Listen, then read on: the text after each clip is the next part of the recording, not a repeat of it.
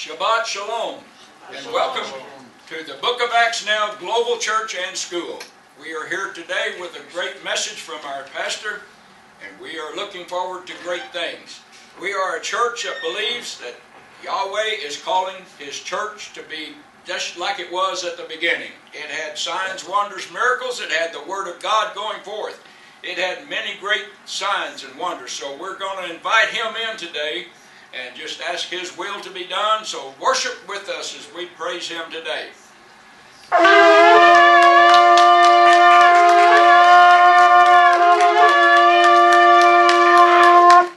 We are a church that believes that the last days that we're in is going to be great and mighty. He's going to do great works.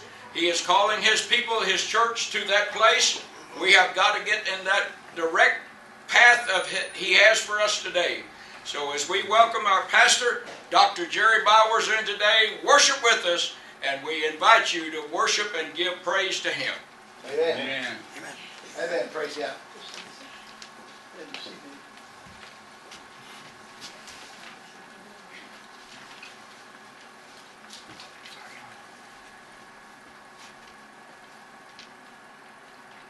Well, again, Shabbat Shalom. Shabbat Shalom. Glad you're here to worship with us today. We're going to be looking at from Acts chapter 6 through 8. Before we get started, I want to just mention to you you can follow us on bookofactsnow.com. That's our website. Amen. And uh, this service uh, will be live on there uh, each week. Uh, again, it's uh, 2.30 Central Time here in the U.S. And then um, also at 1.30 you can tune in for the Hebrew class. So there's two things you can watch on our site. At 1.30 you can be watching the Hebrew class and then 2.30 uh, you can watch this service. So we invite you to join us for that. Uh, I want to mention that there are several books on the website. One of them is Book of Acts Apostles. And much of what we're preaching on the Book of Acts is written there. Of course, you can watch um, our sermons uh, they're, they're recorded and then they're uploaded to our channel on YouTube, which is Book of Acts Now Discipleship. And so any of the sermons you hear, you can go and look at those and others on our YouTube channel. But if you would like to read, some people get a lot out of reading uh, and not just listening. Uh, I recommend that book. It's on our website, Book of Acts Apostles. Amen? Amen. so open your Bibles with me to um, to Acts chapter 6. We continue our series in the book of Acts.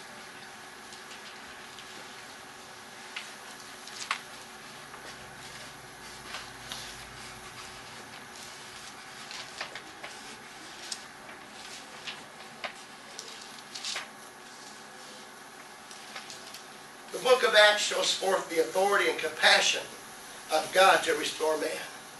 You see, the physical miracles show forth his power to save and heal and restore man.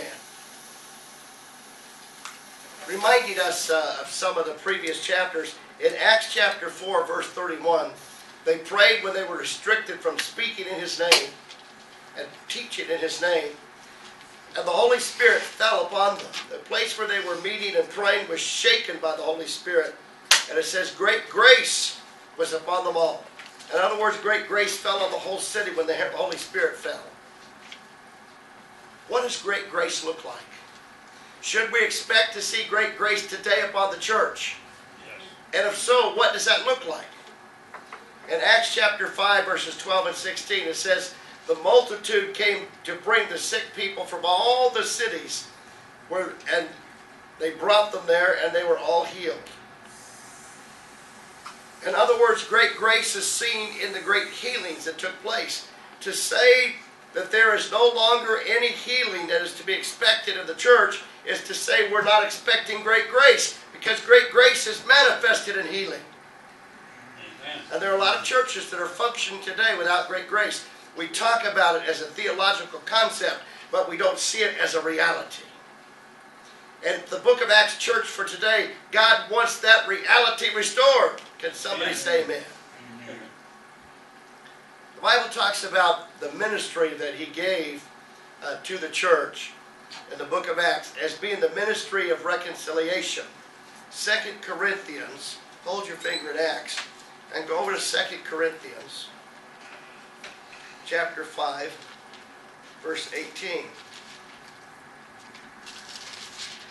Now all things are of God, who has reconciled us to himself through Yeshua HaMashiach, and has given us the ministry of reconciliation. That is, that God was in Christ, reconciling the world himself, not imputing their trespasses to them, and has committed to us, you and me, the word of reconciliation. Well, what is that? Well, it has to do with the grace of God. The Hebrew term for reconciliation is atonement, kapar. It means to cover, it's made up of the kaf, the pay, and the resh. And what it literally means is to cover with the word of the highest person brings you reconciliation. That reminds me of Romans chapter uh, 10, verses 9 and 10. If we hear and we confess and believe that He died for us, we shall be saved. But how shall they hear unless someone speaks to them or preaches? The word of reconciliation has to go forth. But let me give you a practical, uh, we go back to the book of Acts. Let me give you a practical view of how the apostles shared the word of reconciliation. It means to be covered by Him. Amen. Now, Psalms 91 talks about I'm, I'm in the secret place of the Most High and under His wings, and the shadow of His wings. You know, the prayer shawl, the Talit, is actually seen as the wings of God. And so the idea was, in biblical times, if you put this on, when you prayed, or you prayed for someone, these are the wings of God. Amen. And I want to bring you back to the gate beautiful. Peter comes to the gate beautiful. He's been in the upper room, the prayer room. He's been under the wings of God. He just used his prayer shawl that morning. Yes. And now he comes to a man who's uncovered. He's not covered by the righteousness of God. He's not covered by salvation. He's outside the temple. He's not even allowed to be inside. You see, they had the belief that if you were cursed with some kind of sickness or um, handicap like this, it was because God had judged you and you couldn't go into church. In fact, it was so bad that they believed that if, if you had acne, you couldn't sing in the choir and you couldn't participate in the service because you had acne. So imagine this man, for 40 years since birth, he's been on the steps of the temple but never in the temple. Amen. He hasn't experienced the covering of God. So get this now. Here comes Peter. He's carrying the word of reconciliation. He's he's been covered under the wings of God. And he comes to this man and he says, Friend, silver and gold have I none, but such have I have I give to you. What was he giving to him? He was giving to him the covering of God, the righteousness of God. He was giving him the acceptance that was denied to him by the church. And so, in essence, what he was doing, he was saying, Man, look, I'm covering you. See these wings? I'm covering you, friend. Give me your hand. Stand up here under my covering. You're going to be restored and reconciled to the Father today. See, he understood something we don't get because we're looking at it from our modern perspective. He was offering him what God had given to, to himself. And so by taking his hand and saying, In the name of Yeshua HaMashiach, who is the righteousness of God, who is our covering, and the one who has reconciled us, I tell you, sir, you stand up and be strengthened and healed and restored because his covering lacks nothing. Great grace is with us today, sir. Amen. And great grace bears with it its own witness. Be healed and rise up. Amen. Hallelujah. We need to reach back and understand and grab onto what they knew and walked in because we can walk in the same great grace. Somebody say amen. Amen. Yes. Wow. And now we see in Acts chapter 6, the apostles are concerned about the widows who are being neglected in the distribution. And so they call unto them seven men filled with the Holy Ghost. They set them aside for that ministry. They lay hands on them. They have also received the Holy Spirit, and great grace falls upon them for this calling. And as we looked at last week, Philip begins to preach like the apostles. He's not been to any class to learn homiletics, which is preaching. Under the inspiration of the Holy Spirit, he begins to confront their sins and call upon them to repent. And to shut him up, they have to bring some false witnesses. They bring him for the council, and he takes them to school and goes over the history of the Jewish people and says, You're just like your stiff necked fathers who resisted the prophets. You're doing the same thing. For God has raised up a prophet like unto Moses, and you crucified him and you murdered him, and that makes you murderers. Amen. And so they took him out and they stoned him to death. They laid his clothes at the feet of a man by the name of Saul, who would later become the Apostle Paul. And then Philip, that goes into chapter 7. And then chapter 8, Philip goes down to Samaria. That's where I want to really pick this up. Let's go to Acts chapter 8, verses 6 to 8.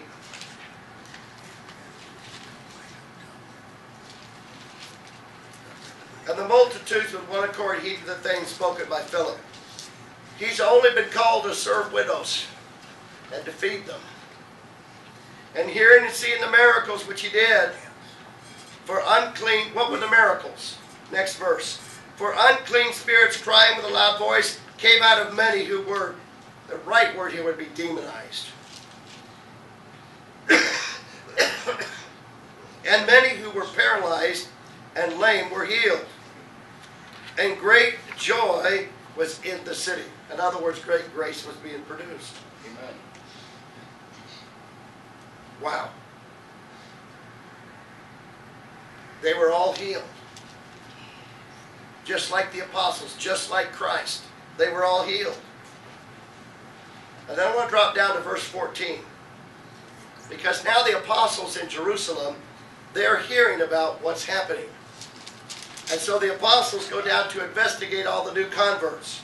And in verse 14, now when the apostles who were at Jerusalem heard that Samaria had received the word of God, that word of reconciliation, they sent Peter and John to them, who when they had come down prayed for them that they might receive the Holy Spirit. For as yet he had uh, fallen on none of them. They had only been baptized in the name of the Lord Yeshua. They laid hands on them and they received the Holy Ghost. It is the receiving of the Holy Spirit, the baptism of the Holy Spirit, that releases great grace on the believer. Amen. And you know, the there are several instances of this in the book of Acts where people are baptized and they think that's it. And the apostles come along and say, No, you have to have what we might call the second work of the Holy Spirit. The first work is regenerating the heart.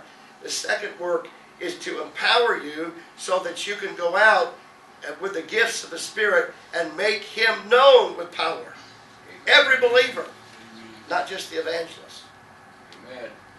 And there's a boldness that comes. You know, they said of the disciples, they knew they were ignorant and unlearned men, but they knew they had been with Christ, Yeshua. How'd they know that? Because they spoke with boldness. Yes. Amen. And so they laid hands on them that they might receive. And then in verse 26, Philip gets some further instruction. He needs to be where he's appointed to be and doing what God's called him to do. And the only way you can do that is learn how to hear from the Holy Spirit. Yeah. And we all need to know the voice of the Holy Spirit. Now look at verse 26.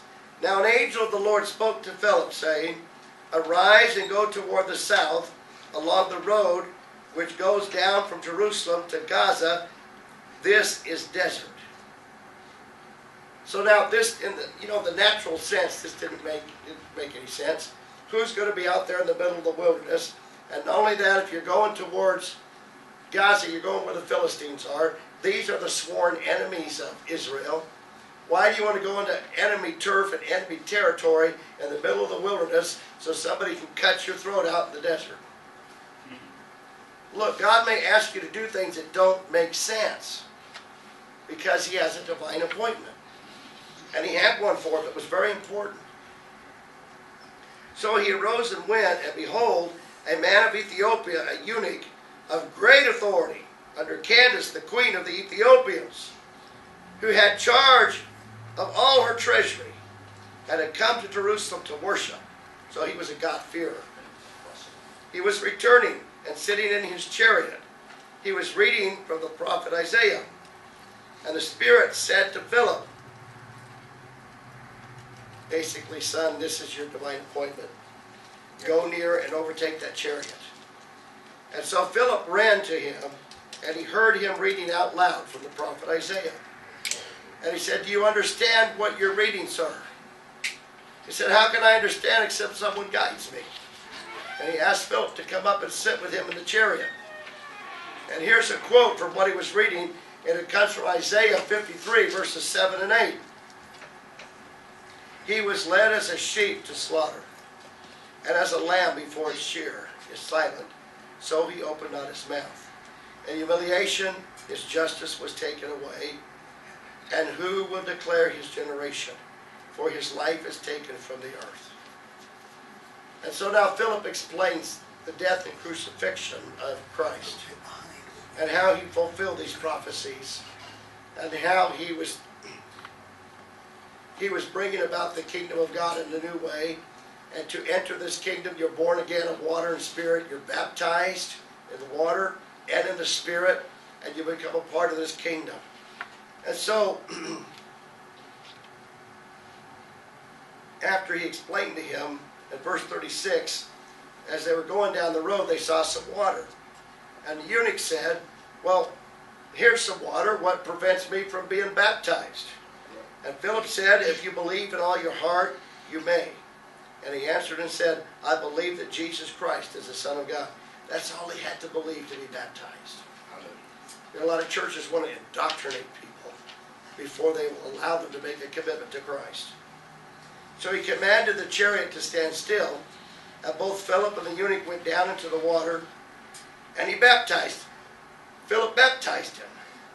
And now when they came up out of the water, the Spirit of the Lord caught Philip away, so the eunuch saw him no more. My goodness. A couple of interesting things.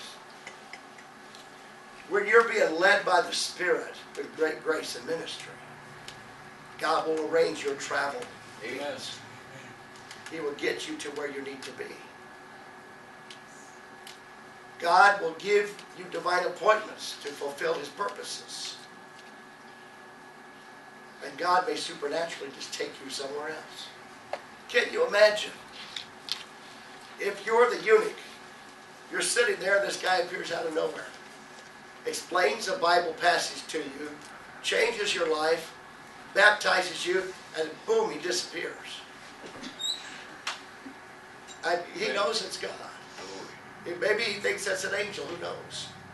But it says he went down the road rejoicing because of that encounter. Amen. And guess what? He's a man of great authority. He's the treasurer of the queen. He's got a testimony to go back and speak to his people Amen. and affect the whole nation. Just think now, Peter would have argued and said, There's nobody out there but jackrabbits and snakes in that wilderness. I'm not going out there. It makes no sense. But because he knew the voice of God, That's it. he knew how to hear from God, he was willing to be obedient. Amen. You know, the year 2019 is coming up. One of the things that we greatly need is to hear from God for this coming year, individually and corporately. What's God saying to you? What's His priority for your life? Right. Is there somewhere you're supposed to be this year? God tells Margie and I every year when to be in Israel and what we're to do there. What's He speaking to you this year? We need to hear that. So New Year's Eve, we're planning on meeting and praying because we want to hear individually and corporately what's God saying to us Amen. for the new year, so we can get lined up with the times and seasons of God. Amen. Amen. Praise the Lord.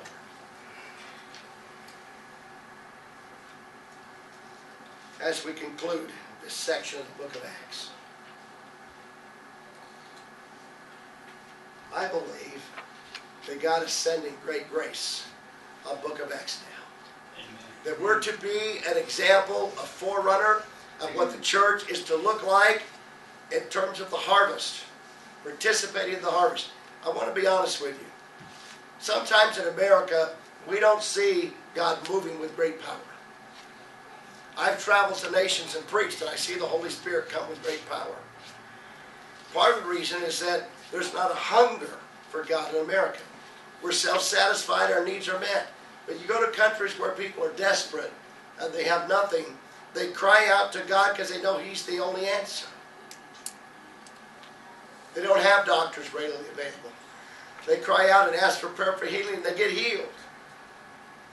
I think that's going to change in America. We're going to see God's hand more here.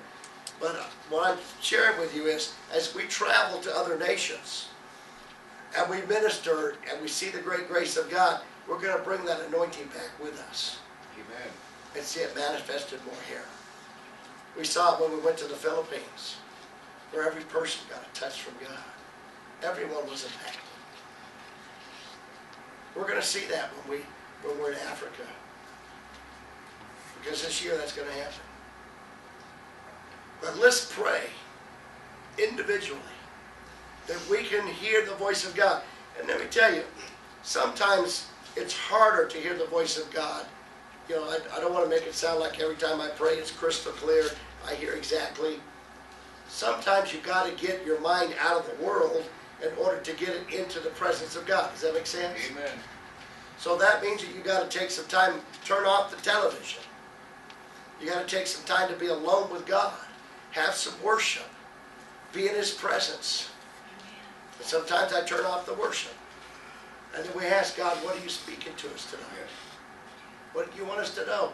And we wait in His presence. God sometimes will shock you with a few things. That's often happened to Margie and I. When we're in Bastrop, Texas. God says you're going to be moving in October. God, where are we moving? Just get ready. So we continued to pray over the course of several months. Get your resume ready. You're moving in October. And finally, as we uh, sought Him, he let us be, let it be known that I was to contact some uh, chaplain positions um, in uh, in Granbury, Texas. And so I did. I had three or four in mind, and he said, "Now only turn in one of them to this agency." I found out later they had been praying for the right chaplain for six months, and they took my resume to the prayer group of the director, and the prayer group said, "Yes, he's the one," and they hired me. But God prepared it. One day when we were praying, we didn't realize our car was going to die on the way to Granbury. It, uh, it ran until we pulled into the driveway where we were going and it died. It was bit by a snake as we were leaving on the right hand, but it, it didn't it didn't harm me. I still got the puncture wounds on the hand. The enemy didn't want that move to happen, but we were obedient to God. Amen. And so Margie saw in a vision before we moved. We were driving a new white car over a bridge. The second day I was at work, they gave me a brand new white car, a Nissan. And we had to drive over a bridge to go to work. So if, if we will take time, God will give us indications about what's coming, what's going on, so we can align with heaven.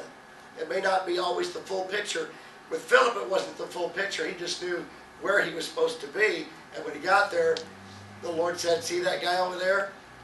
Get up close to him.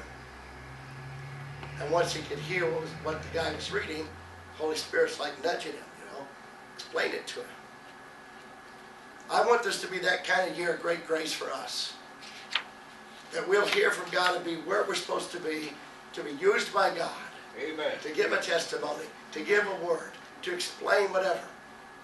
But God will use us. Sometimes, friend of mine, and I've learned this in doing chaplain work, you don't have to have all the answers.